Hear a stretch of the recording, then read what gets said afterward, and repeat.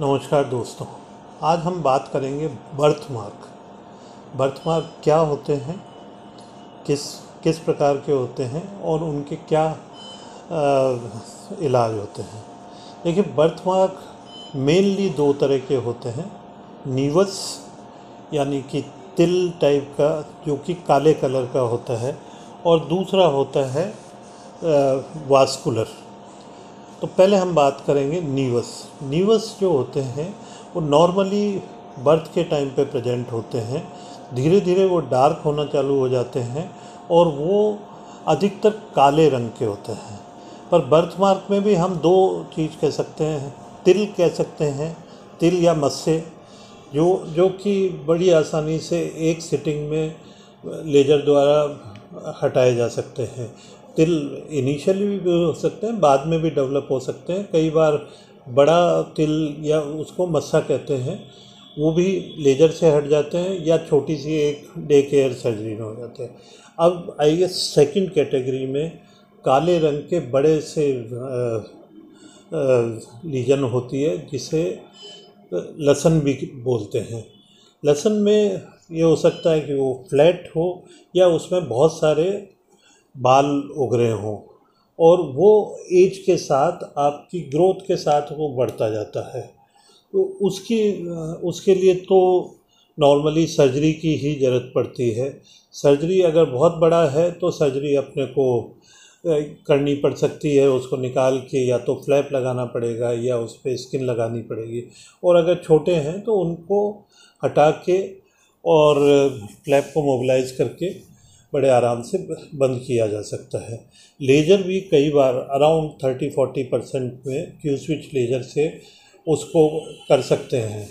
अगर बड़ा बर्थमार्क है तो उसमें स्किन लगाने की ज़रूरत पड़ सकती है। अब आइए तीसरे तरह का बर्थमार्क जिसे वास्कुलर बर्थमार्क कहते हैं। वो हो सकता है हिमेंजोमा हो, वो हो सकता है कि पोर्ट वाइन स्टेन या low flow vascular malformation low flow vascular malformation शुरू में बहुत हल्का सा दिखता है और उसे जैसे जैसे एज बढ़ती है उसकी डार्कनेस बढ़ती जाती है और वो आ, साथ में स्किन भी आ, मोटी होती जाती है। कई बार आपका उस हिस्से का जहाँ पे वो लो फ्लो वास्कुलर मालफॉर्मेशन या पोर्ट वाइन स्टेन जिसे कहते हैं वो इतना ज़्यादा हो जाता है कि वहाँ की मांसपेशियाँ, वहाँ के हड्डी भी बढ़ने लग जाती है। नॉर्मली ये फेस पे होते हैं, पर दूसरी जगह पे भी हो सकते हैं। हिमेंजोमा भी बाई बर्थ होता है, पर जैसे बच्चे का जन्म होता है तो उस टाइम पे कुछ नहीं दिख रहा होता है।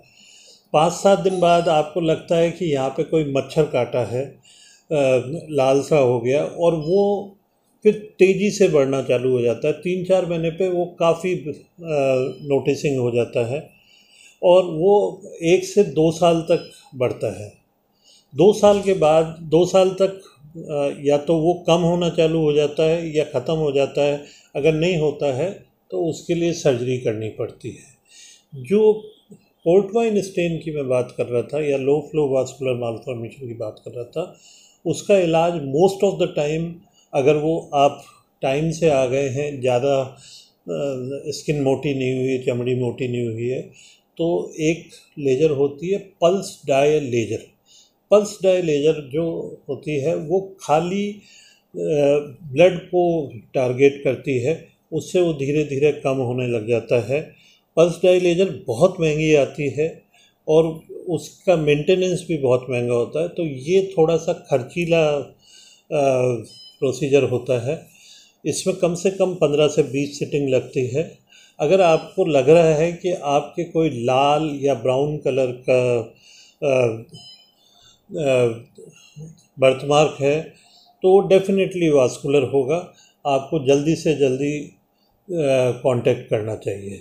बाकी जो हैं, वो आपको अपने एट ईज़ आप कर सकते हैं। पर बर्थमार्क जो है उनको हटा देना ही ठीक रहता है। अब एक बर्थमार्क के बारे में मैं स्पेशली बोलना चाहूँगा, जिसे जाइंट हेरी मोल कहते हैं। बड़ा सा बर्थमार्क डार्क ब्लैक कलर का और उसमें खूब सारे बाल होते हैं, उसे जाइंट हेरी मोल कहते हैं। उसे as soon as possible surgery करा लेनी चाहिए, क्योंकि कुछ परसेंटेज चाहे वो दो से पाँच परसेंट में कैंसर में चेंज हो सकता है, जिसे मेलिग्नेंट मेलेनोमा कहते हैं, जिसका ट्रीटमेंट बहुत मुश्किल होता है।